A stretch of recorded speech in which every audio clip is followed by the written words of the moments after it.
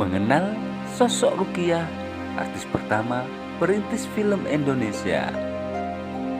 Sebelumnya, kami ucapkan terima kasih kepada Sobat Nostalgia yang berkenan subscribe dan mendukung Nostalgia Channel. Semoga Nostalgia Channel terus dapat berbagi nostalgia dan bermanfaat.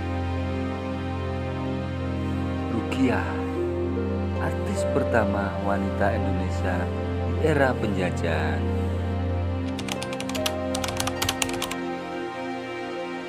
Rukiah lahir di Bandung tanggal 31 Desember 1917. Rukiah mulai berkarir pada usia 7 tahun.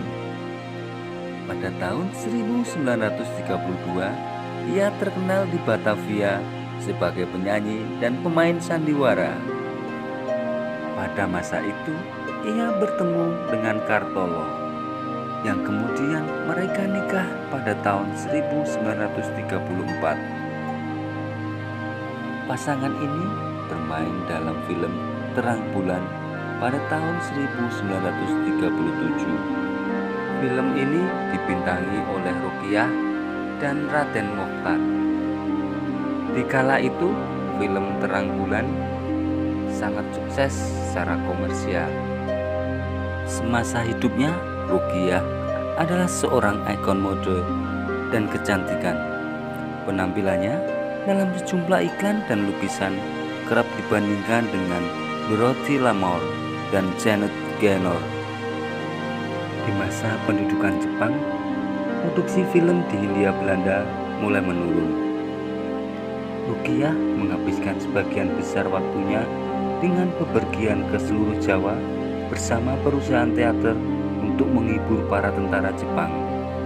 Rukiah jatuh sakit pada bulan Februari 1945. Rukiah meninggal dunia setelah Indonesia memproklamasikan kemerdekaannya 17 Agustus 1945. Meskipun sebagian besar film-film yang ia bintangi saat ini sudah hilang, ia tetap dikatakan sebagai seorang pelopor dan perintis perfilman Indonesia. Demikian Sobat Nostalgia, kenangan seorang Rukiah. Semoga menjadi nostalgia dan menambah wawasan tentang masa lalu.